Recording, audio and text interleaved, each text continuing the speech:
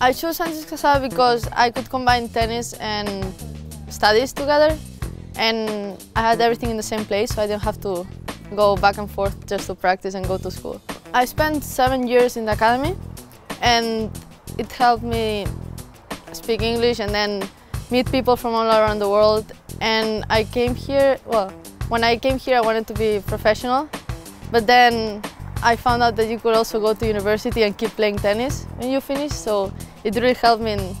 like now going to university. It was easy to adapt because I was I was already doing like combining tennis and studies at the same time so it's the same thing there. Just keep working hard and practice every day because either even if you are not going to be like professional, you have other like doors and you can go to the States and you can keep playing tennis and then you can like even compete even more and just do your best here and try to enjoy the experience because not many people have it.